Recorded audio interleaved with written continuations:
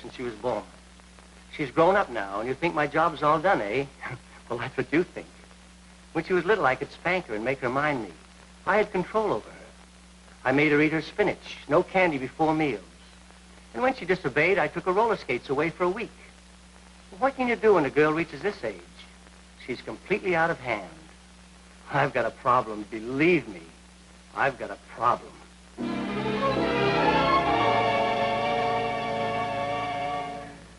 That's my father. I've raised him from childhood. That is, my childhood. He's nearly 50 now, and you'd think he'd settle down, wouldn't you? Well, that's what you think. Today, he looks better in shorts on a tennis court than fellas 25. Girls wink at him, and what's worse, he winks back at them. I want a nice, old, comfortable father. I try to look after him, but he just won't settle down. I've got a problem. Believe me, I've got a problem.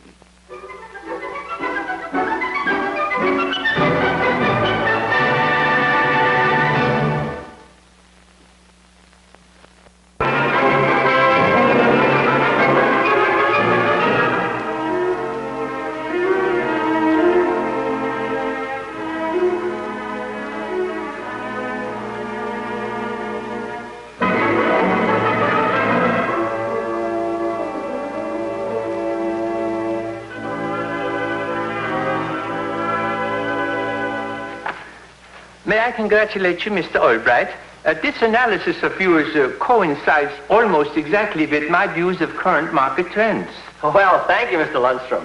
You appoint us your American representatives, and I'll have Mr. Albright personally supervise your account. What do you say? Is it a deal? Uh, now, please don't rush me, gentlemen. In any deal of this magnitude, I am primarily concerned with the dignity and the character of the men I select to represent me. However, I will say that I have heard nothing but good things about your firm. I shall make my decision within the week. Yes, Call for Mr. Lundstrom. It's for you, Mr. Lundstrom. Oh, thank you. Hello. A girl did what? No, Eric, don't call the police. That would only cause a lot of undignified publicity. I will be there directly. Goodbye. My secretary at the hotel. This is most extraordinary. Well, oh, what happened? A mysterious young woman tried to bribe our maid at the hotel. Wanted to gain entrance to my suite. What do you make of that? I, I haven't the slightest idea, Mr. Lundstrom. Well, uh, good day, gentlemen.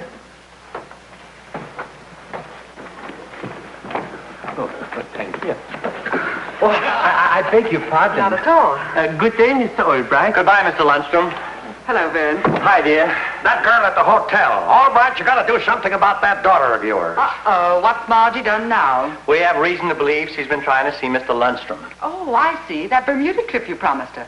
And she thinks that if she can get to see Mr. Lundstrom, she can figure out a way of speeding things up. That's our Margie. You heard what Lundstrom said about dignity and things like that. Albright, you've got to keep her away from him. Well, Margie's only trying to help. Just a second. Suppose we have her meet a Mr. Lundstrom. A Mr. Lundstrom? That's right. Some actor who can speak Swedish. A decoy to keep Margie occupied until we get the real Mr. Lundstrom signed, sealed, and safely back to Sweden. Boy, you're a genius.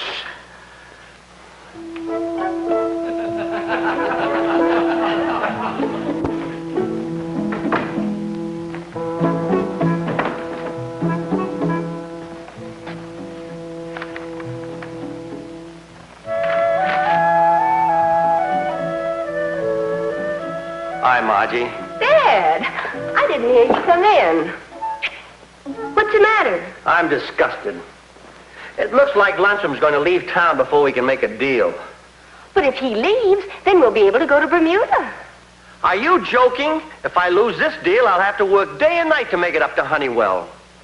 Well, Dad, maybe we could figure some way to keep him in town. Margie, I've told you before, I don't want you meddling in my business affairs. I wouldn't think of meddling. But if Mr. Lundstrom should stay and you should make the deal, then we could go to Bermuda.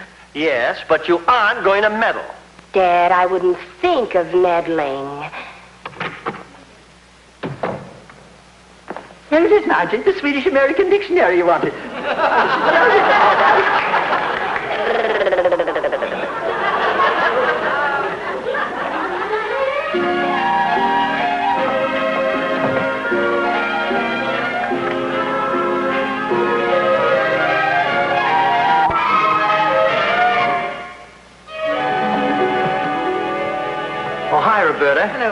This is Will Solenston, the actor. Mr. Solenston, Mr. Albright. Nice to know you, Mr. Albright. How do you do? Vern, I still wish you'd reconsider. You know what happens when you try to play tricks on Margie. Oh, Roberta, stop worrying.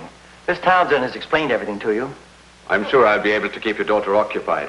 And incidentally, Mr. Albright, I think your Indian idea is the most priceless thing I've ever heard. Oh, thank you very much. By the time my daughter solves that little problem, my worries will be over. Wait over there.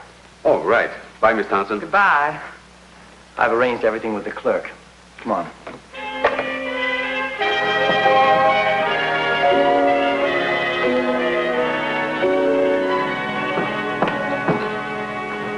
Clerk, Yes, miss? would you announce me to Mr. Olaf Lundstrom, please? Your name? Miss Albright. He knows my father. Oh, I just remember. Mr. Lundstrom is sitting right over there. Hmm, a walking smorgasbord. Mr. Lundstrom? Uh-huh.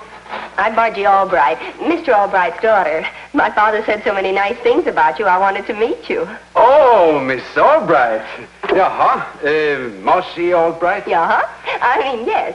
Jag är mycket glad att träffa er, fröken Albright. Hmm? Åh, det glömde jag tala om. Jag, jag talar inte engelska. Um, uh, um, I not speak uh, much English. Oh, well, I'm prepared. Nej, men det var ju fint det. Um, eh, säg, um, hur skulle det smaka med lite lunch? Lunch? Lunch? Oh, yes. Come on. Jaha.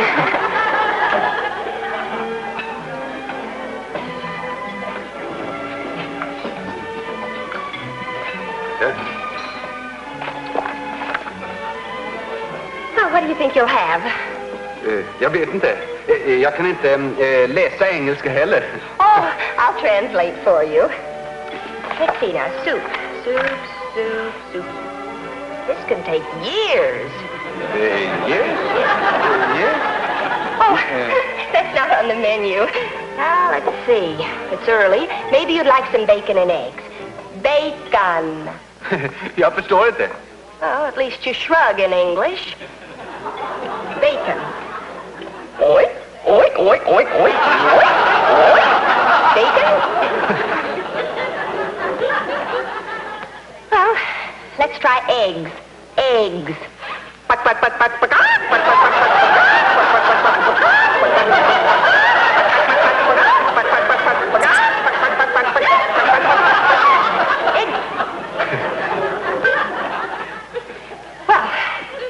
How about a nice steak? Steak. Now watch me. Mmm.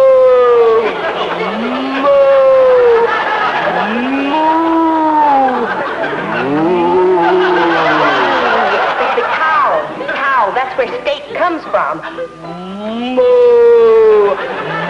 Moo. You feel all right, miss? Sure, I feel fine. I'm trying to find out what Mr. Lundstrom wants to eat. He only speaks Swedish. Lundstrom? First a girl trying to get into my suite, and now another Mr. Lundstrom? Eric, I think this calls for a little investigating. Uh, pardon, perhaps I can be of some assistance. I speak Swedish. That's very nice of you. Please sit down. Oh, thank you. My name's Margie Albright. Albright? That's a familiar name. Uh, Margie is, I mean. And this is Olaf Lundstrom. Maybe you've heard of him, the big Swedish industrialist. Oh, how interesting. I'm trying to entertain him. My father wants to keep him in town until he makes a deal with him. I see. I've been trying to find out what he wants for lunch. Would you ask him for me, please, Mr. Uh... Uh, Franken, uh, William Franken, vad vill ni ha till lunch? Jag trodde hon ville ha lunch. Jag har redan ätit. What'd he say? He's already had lunch. For crying out loud. Ask him when he's planning to leave town and why. Hon vill veta när ni ska resa och varför. Eh, I hela mitt liv så har jag önskat att få se några riktiga tvättäkta indianer. Och därför reser jag till Albuquerque ikväll. Oh, yeah. Uh, Here says he always wanted to see some real Indians, so he's leaving tonight for Albuquerque. Indians. Jaha, eh, indianer. Eh, eh, Indians. Oh! Never mind. I know what they are. Tell him I know where there's a whole tribe of Indians living right here in New York. Hon säger att hon visar rika indianer i Central Park ikväll. Nej, verkligen. Så trevligt. Eh, kan ni tala om för henne att jag möter henne i hotellvestibulen klockan åtta ikväll och att jag är mycket glad. Ja, adjö herr Franken. Eh, Miss Albright.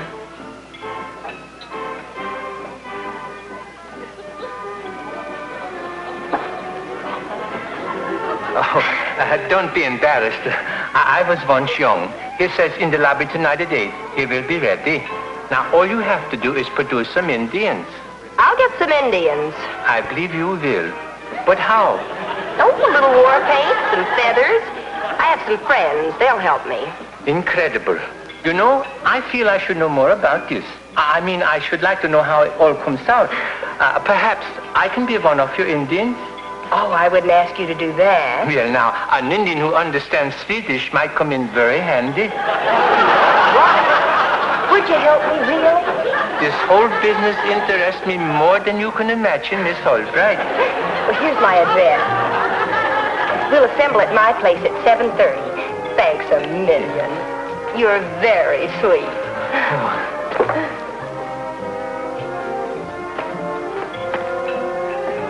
What's it all about, Mr. Lundstrom? That's exactly what I'm going to find out. Eric, I want you to get me a book on Indian lore and a complete Indian costume.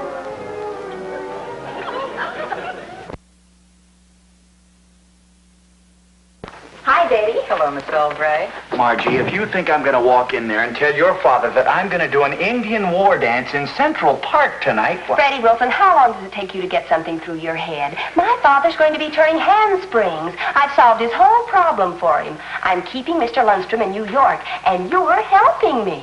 you really think he'll approve? Of course he will. Come on.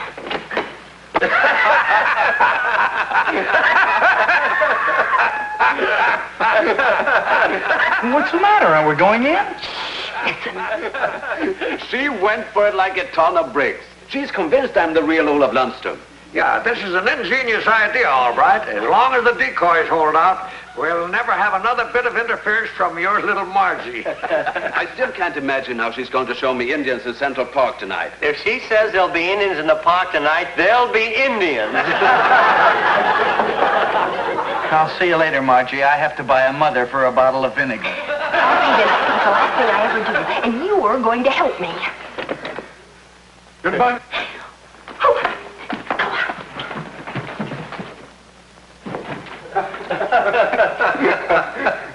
Goodbye, Mr. Albright. so long, Will. You're doing a fine job. Thank you. Bye. Betty, I'm depending on you to forget what you've just seen. I'll stay with Betty and help her forget. We're going in there and set a little trap.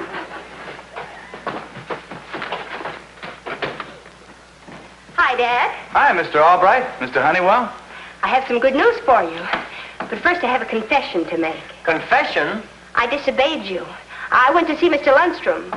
Margie. But now let me finish. I've solved your problem. I'm going to keep him from leaving town. You are? How, how are you going to do it? yes, Margie, how are you going to do it? He wants to see Indians, so I'm going to show him some Indians. Indians? I knew you'd be surprised. But here's the deal. We're all going to dress up like Indians. What do you mean, we're all? Well, just what I said. All of us. We'll have to make it a good show, won't we? We may have to do it lots of times. Maybe every night until your deal is made. Excuse me, dear. Mr. Honeywell and I would like to talk this over.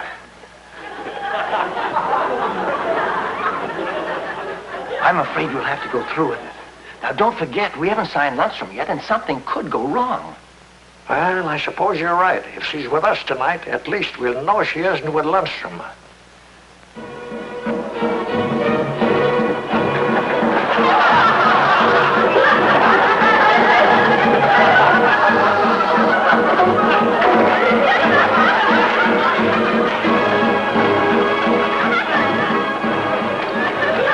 Oh. Mr. Franken? Yeah, sure. Oh, you fool anybody. Come on in.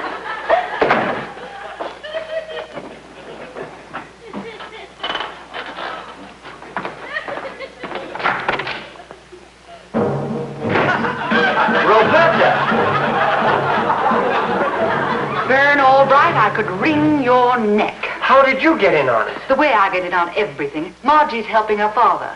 Roberta, you wouldn't let Dad down at a time like this, would you? End of quote. And here I am, a generally level-headed businesswoman masquerading as an Indian. Ah, and that isn't all. Later on this evening, I'm doing a war dance in Central Park. Oh, I'm sorry, Roberta. I never thought she'd involve you.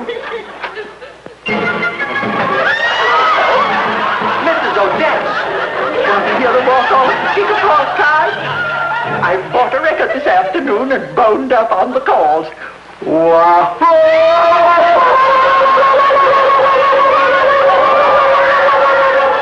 Here they are. Oh, wait, wait. Let's fool them. Say I'm a real Indian. Hmm? I'm just helping you. I don't want to be identified. All right, Mr. Franken. Hi, everybody. I want you to meet someone. This is uh, Chief White Cloud. He's a real Indian. Me, no speaking English. Much good. How, Chief? Dad, you and Mr. Honeywell better hurry and get dressed. We don't want to keep Mr. Lundstrom waiting. Of course not. Come on, Mr. Honeywell. If your father ever finds out my part in this... You got out of dressing like an Indian, didn't you? Yeah, but what I have to do now is a thousand times worse. Now, don't forget, make the call at exactly 8.45. 8.45. Check your watch against mine.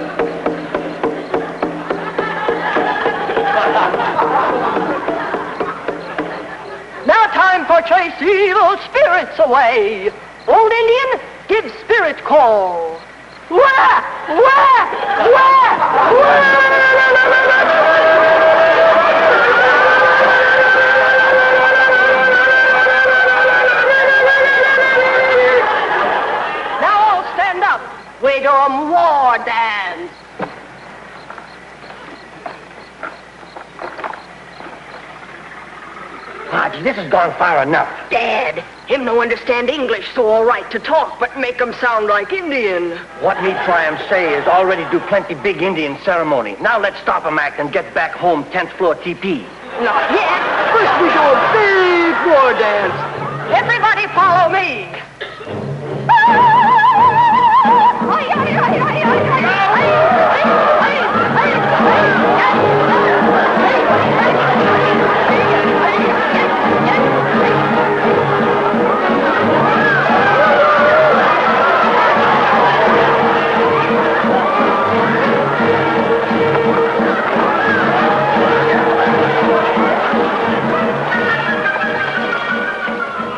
What's the, I mean, uh, uh, what a big idea. We go prepare a big surprise for Mr. Lundstrom. You keep 'em dance going. All right, 'em, but make 'em snappy 'em.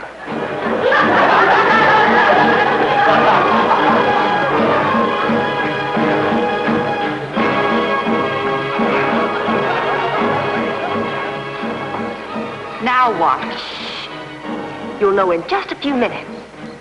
You've won this time, Freddie, my boy. You've won. You're not going to do what Margie says. You jellyfish.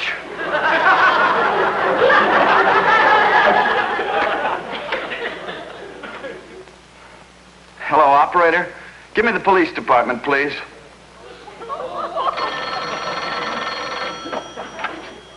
Sergeant Carey speaking. What? You want to report what? Indians in Central Park. I think they're going to burn a man at the stake. One of them just asked me for a match. Say, who are you anyway? Hello, hello. Indians up in Central Park having a war dance. And you found out it was a gag? Mm-hmm. And that's why I got the three of you away from them. I'm going to fix them good. Just stick around and watch the fun.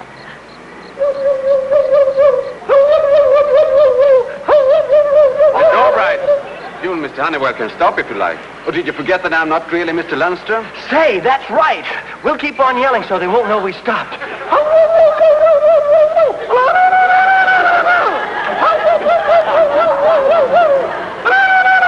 Central Park area. Calling all cars. Calling all cars. Investigate report of Indians in Central Park. Is he kidding?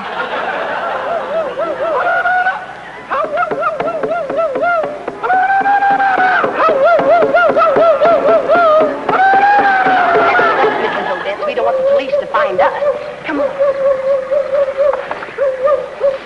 I wonder where Margie and the others are. I think I hear them coming now. On your feet.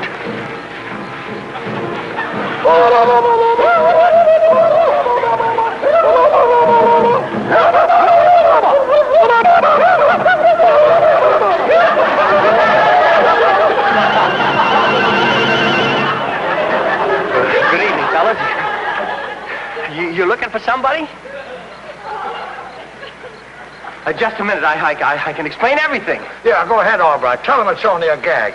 Now, come along quietly and everything will be nice and peaceful.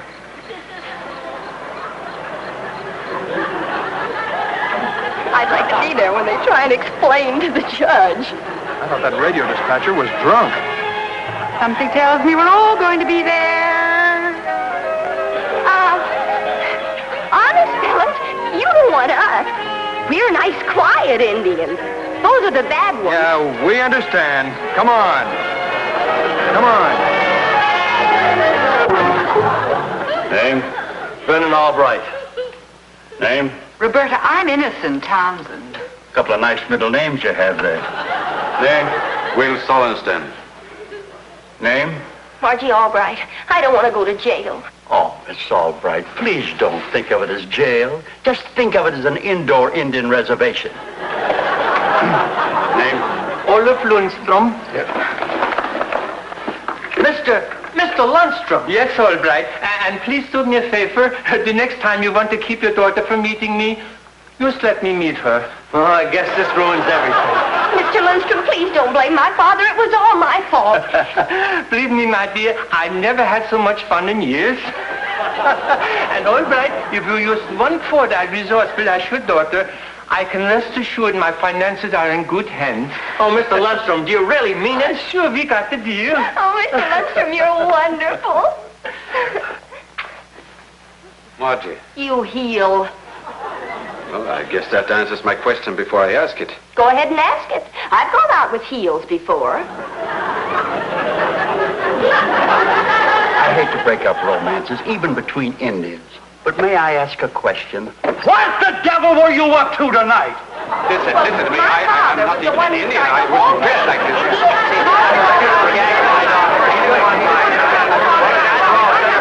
He Yeah.